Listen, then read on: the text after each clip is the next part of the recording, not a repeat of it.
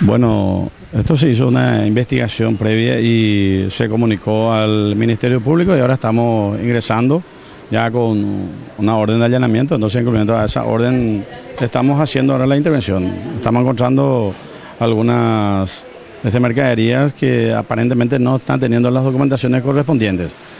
¿Esto es dentro del operativo, gente? Esto es en el operativo, dentro del operativo gente.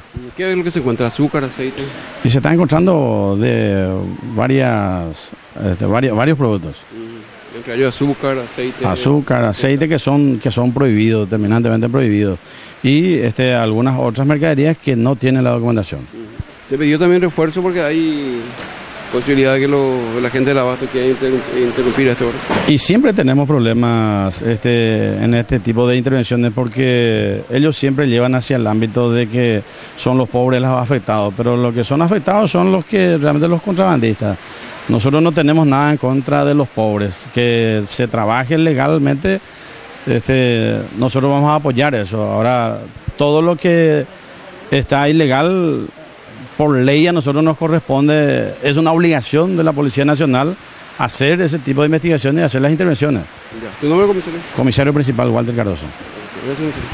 Delito económico eh, y eh, aparentemente está un distribuidor acá de la zona, ¿verdad?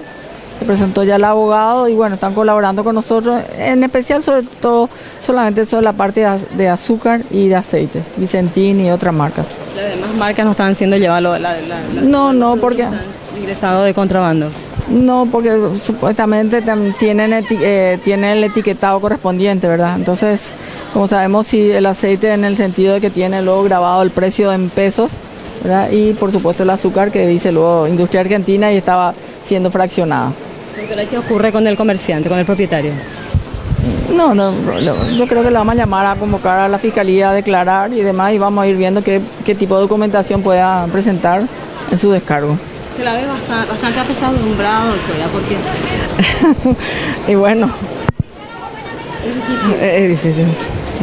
que le estén gritando, vociferando, doctora, cuando hace su trabajo, ¿no? Así es.